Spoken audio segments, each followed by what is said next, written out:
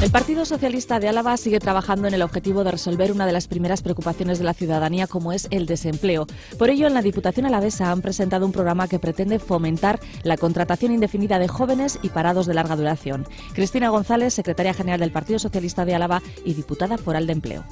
Este programa, dotado con 470.000 euros, dirigido a las pequeñas y medianas empresas y profesionales autónomos de Álava, permitirá incentivar más de 100 contratos estables.